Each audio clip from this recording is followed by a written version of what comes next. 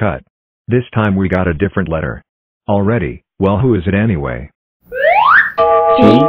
Oh, I just high's replacement because I sees 1, 2, and 4's new look.